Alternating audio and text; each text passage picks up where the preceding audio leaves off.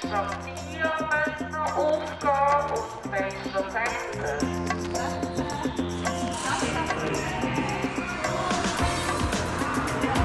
Werbung.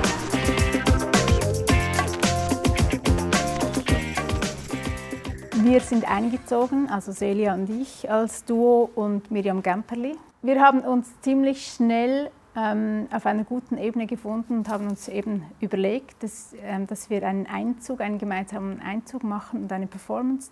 Dies haben wir auch gemacht, weil es das 40 Jahre Jubiläum gab vom Zimmermannshaus und ein Sommerfest. Und diese roten Gewänder sind eigentlich unsere Ein- und Auszug-Performance-Kostüme.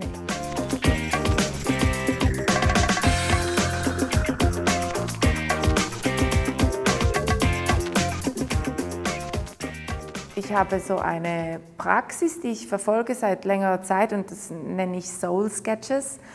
Das, äh, ich porträtiere Menschen, die mir begegnen aufgrund von Geschichten, die sie mir erzählen und nicht äh, aufgrund vom Aussehen, sondern eigentlich das, was in den Menschen ist und sie mir erzählen.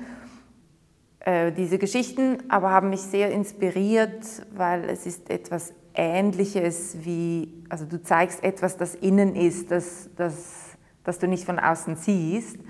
Und ein Haus ist eigentlich wie so dasselbe. Und ich habe wie so die Geschichten genommen von diesen Personen, denen ich begegnet bin und habe diese Formen oder diese visuelle Art und Weise habe ich dann in Vorhänge genäht.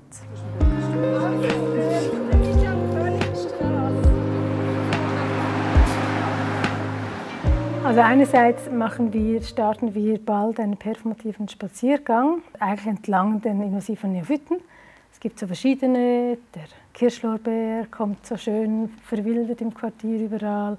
Es gibt ein leerstehendes Haus, äh, das wir ganz spannend finden, da gehen wir ein bisschen in den Garten schauen.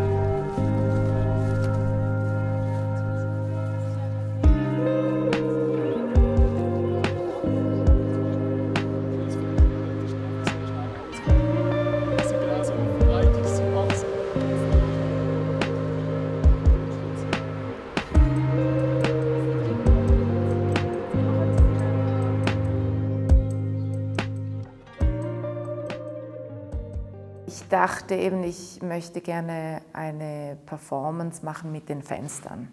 Und ich habe pro Fenster eine Person in die, in die Fenster gestellt und einen Vorhang gegeben und wir haben eine Performance erarbeitet zusammen. Dann kommen alle Grünen und stehen auf.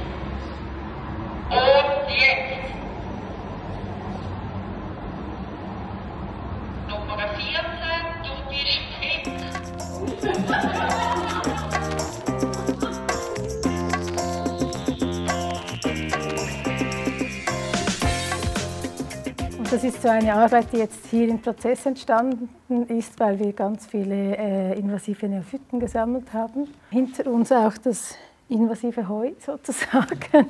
genau, das haben wir im, zusammen mit Crea Natira ähm, gemäht, wo wir auch nochmal vor allem die Arbeit, die unsichtbare Arbeit der Menschen, die halt diese invasive Neophyten bekämpfen, eigentlich sichtbar machen möchten.